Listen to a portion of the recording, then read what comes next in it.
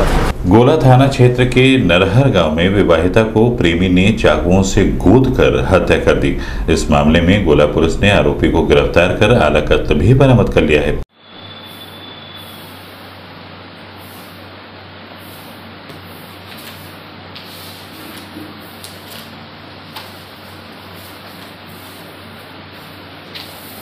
इस संबंध में मीडिया कर्मियों से बात करते हुए वरिष्ठ पुलिस अधीक्षक दिनेश कुमार प्रभु ने बताया।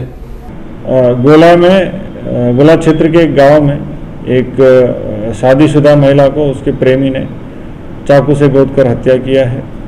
जाँच के उपरांत ये पता चला कि महिला शादीशुदा है और उनके पति जो है लेबर के काम करते हैं और बाहर काम के सिलसिले में चले जाते हैं। इसी दौरान उसी गाँव के किसी अन्य व्यक्ति से उनके संबंध हो जा रहा है। बाद में महिला उन संबंधों से अलग हटना चाहे तो उसी में आ, उसी गुस्से में कुन्नस में उन्होंने जाके हत्या किया है। हत्या आरोपी गिरफ़्तार हो गया आला कतल चाकू भी बरामद